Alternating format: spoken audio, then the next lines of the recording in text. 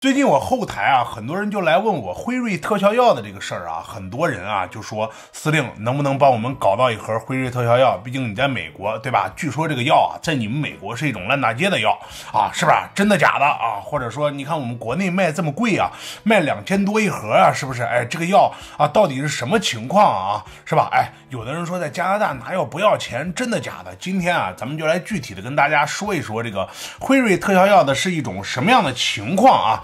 是怎么回事呢？这个特效药啊，其实不像大家想的，它不是一个大家想象中的啊治愈新冠的药物啊，它是一种阻断药物啊，它是防止病毒的啊再复制啊，这就能阻止有效阻止你从重症啊变为就是怎么死亡，或者说由轻症转为重症，它就是类似于这么一种东西啊。那咱们就先来说说啊，西方呢啊这个药呢卖什么价钱啊？我知道很多人就说啊，这个咱们中中国现在这个药是多少钱？两千九百一盒还是两千三百一盒？哈，很多人就说这个药贵啊，说这个药就是来割韭菜的。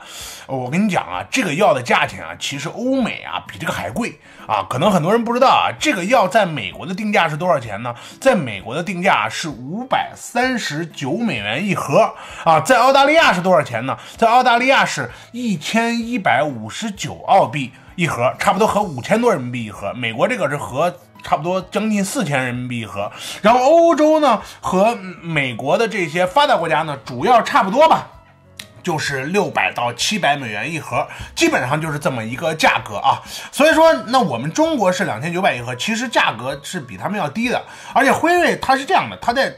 出口的时候啊，它是有这么一个规定，就是说啊，只要是说你被列为那种极度贫穷的国家，就是比如说不发达国家啊，那给你就很便宜啊，或者是有一些啊地方，它甚至是啊采取这个赠送的方式啊，或可能会援助一批，就是那种极穷的国家。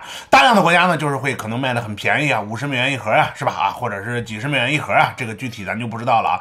但是中国呢，并不在这个呃，就是这个。就是中低收入家里面，你知道吧？因为咱们中国嘛，你从 GDP 来算，人均已经一万多美元了，对吧？哎，已经摸到这个发达国家的门槛了。而且其实西方大量的国家也并没有把咱们中国当成这个呃不发达国家或者中低收入国家。而且咱们中国人自己也经常说嘛，对吧？外国人来赚我们的钱，我们有的是钱或者怎么怎么样啊，自己也没有把自己当成一个中低收入国家啊。所以说啊，差不多吧，给咱们定的这个位置啊，这他给咱们定的这个价价钱啊，这个这个这这。个位置差不多就是这么一个位置啊，不如西方的高，但也不如中低发那么低，因为它这个药啊，它是个新药，因为大家都知道新药是有专利保护期的，那没办法，它在专利保护期内卖的就这么贵。但我说到这儿啊，可能会很多朋友来这么说我啊，就是说不对，我朋友就在加拿大，人家就免费拿到了这个药；我朋友就在美国，人家就免费拿到了这个药，你就胡说的，这个药在美国明明就是免费。我跟大家说过了，这世界上哪有免费的午餐呀？不可能有免费的午餐，对不对？是美国是啊，分成处方药跟非处方药。那么非处方药呢，就是我跟大家在药店拍的那些啊，就是你到药店去拿药，对不对？哎，到药店以后呢，哎，这个药什么感冒药、发烧药、止疼药，这你能随便买啊？这是非处方药。还有一种药呢，叫做处方药。处方药呢是必须由医生给你就是写你才能开的。知道吧？哎，辉瑞呢就处于一种处方药。那么为什么药会分成处方药跟非处方药？那处方药呢？我的理解呢，就是也不是我的理解吧，基本上吧，它就是对身体可能副作用也比较大，它的药效也比较强。不同的人吃下去以后呢，它的药效可能也不一样。这就是为什么处方药一定要由医生给你开。美国啊，包括所有的这个发达国家啊，处方药的管理是非常严格的。你都不要说人，连狗吃的药、猫吃的药。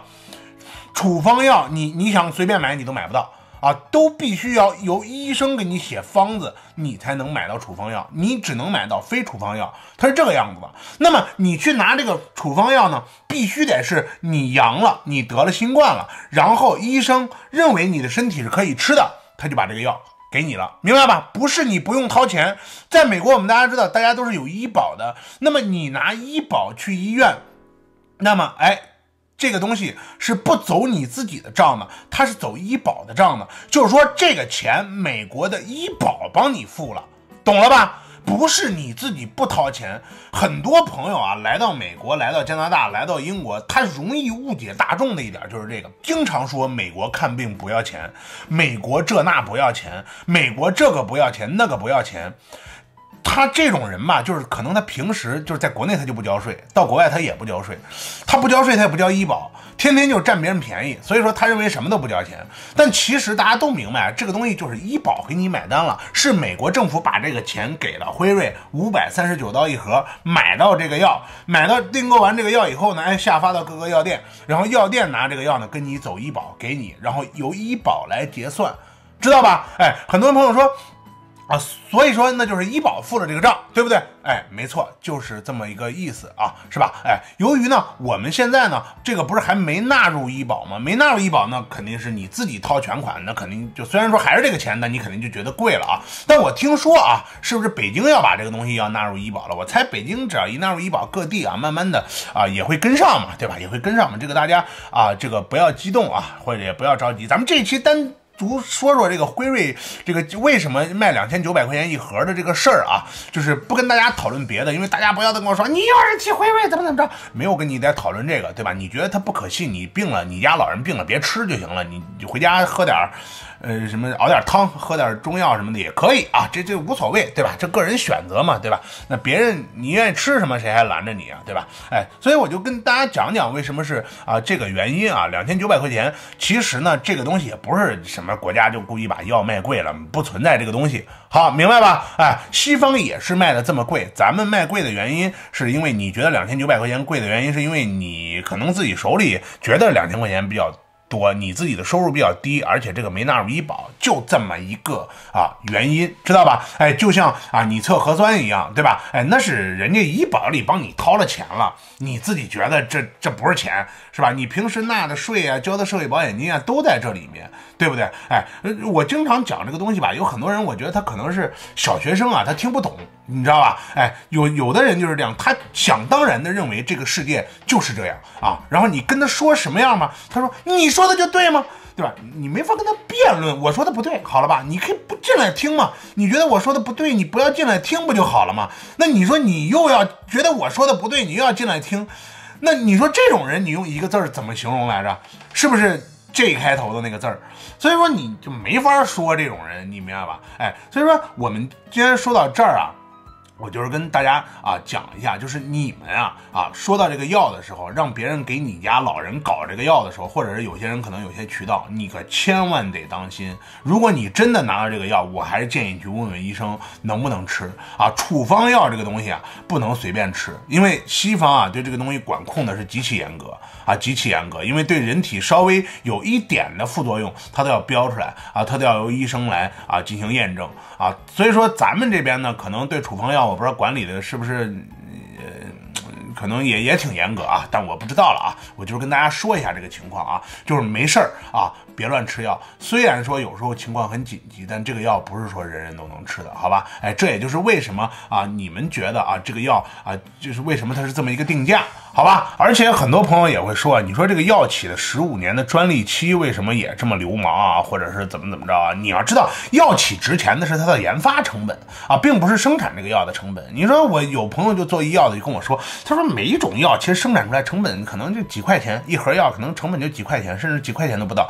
但是他前期研发、做实验、做各种各样的这种东西，哎，他要投入大量的成本。所以说这十几年的这个专利期、二十年的专利期，主要是为了让他们把这个成本收回来。你现在吃的所有的药，包括你看现在我们人类能有效的控制高血压，有效的控制就是这个糖尿病，有效的控制高血脂，对不对？三高的药啊啊，这个这个什么什么啊，抗生素啊，都是怎么来的？只是说现在专利期过过了啊，它卖的极其的便宜，包括之前有些男性吃的药啊，都是现在啊卖的极其的便宜。因为什么？因为专利期过了，那这个东西啊，你也就可以仿制了嘛，这东西也不值钱了。然后药企也会把这东西压下来。你就看现在啊，在咱们国家，我看现在买一个血压药，可能什么的也就十几块钱。几块钱是吧？哎，我看在美国这边拿血压药都不要钱啊，当然也是医保啊，你拿这种 A 类药根本就不要钱啊，所以说差不多也就是这么一种情况啊，大家正确去理解。那行吧，那这一期呢啊，就跟大家说到这儿了哈啊，只是跟大家说一下为什么啊，就是他这个他这个药啊是这么一回事儿啊。行，那这期就聊到这儿，以后有什么有意思的东西再跟大家说。这期聊到这儿，大家拜拜。